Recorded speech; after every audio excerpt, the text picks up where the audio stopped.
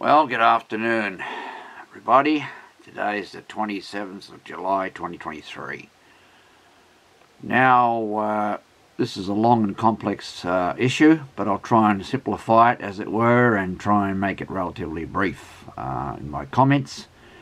I have a very good friend of many years standing, I mean 30 years or more, I guess, who is a, uh, a Christian, as I'm a Christian incidentally. I, I accept uh, God and Jesus as the Lord and Saviour and so on, but I'm not what you call a fundamentalist Christian. In other words, I don't believe every word of what's written in the Bible, mainly because it, the Bible was uh, taught over a thousand years uh, in, in a, a verbal way uh, and then written down, but also because the Bible consists of um, parables, uh, prophecies, and history.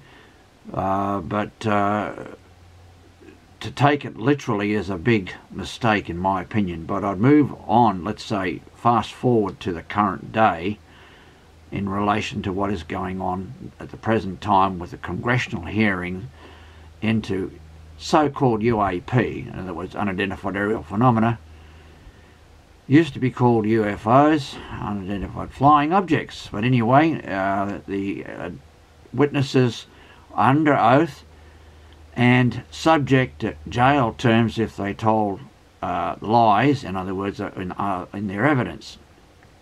Now, as I've pointed out to this friend of mine, what if six people said that Joe Bloggs had killed, killed Julie Smith? Well, Joe Bloggs could get life imprisonment, or if he's in the United States, he might get the death penalty, on the basis of the six witnesses. So uh, what we have here are highly qualified, security cleared people who are telling the truth completely on a subject. And yet we have people who say, I never believed that. That's just not true. But what is needed, I think, in the future is quite simply to have the crashed alien spacecraft and bodies taken out from where they are being stored and then put on public display so that scientists, the media and the general public can have a close-up view of those objects, in other words, and be fully convinced that this is what has happened.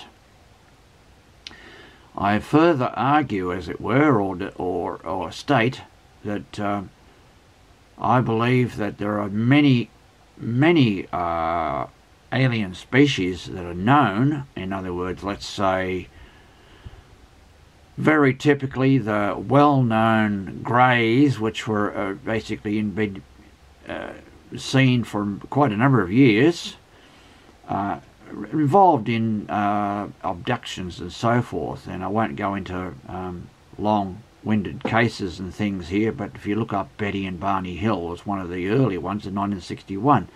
But there have been others, and there have been uh, sightings of other types of aliens, including uh, what are known as tall whites, although they're not very common, and also uh, the um, ones that look extremely like human beings, so much so that they could probably pass off as human beings. Uh, they're mostly seven foot or so tall and are known for obvious reasons as Nordics, because they look like people from that region of the earth. Well, my uh, case, as it were, on this is that I believe that God has created life throughout the universe. Now, whether you could argue that he also created evolution, in other words, and spread it throughout the universe, that's another matter. It may actually be correct. And of course, some of my friends, Christian friends in particular, would just poo-hoo all of that and just uh, stand by what it says in Genesis, let's say. Uh, but I think the evidence is very, very clear that the universe is much older than many Christians believe, and that the Earth is not the centre of the universe and it's not 6,000 years old. That what we can see so far is galaxies 13 billion light years from Earth, and so it took light 13 billion years to pass through our region. Uh, it's th- therefore a pretty strong argument that that's the case. In other words, that's what exists. But let's just move on a bit further and say, well, what is coming next anyway? I think more more uh, expert witnesses and people who have been invol- involved, in particular, in uh, what they call crash retrieval and reverse engineering uh, of these craft, and that what they should do is bring out actual craft that have been reverse engineered, in other words, earth made uh, craft that look for all the world like alien craft. Now, that'd be the ultimate proof of, of uh, the existence of uh, aliens and the interaction they've had with uh, Earth over many, many centuries, indeed, some people say many thousands of years.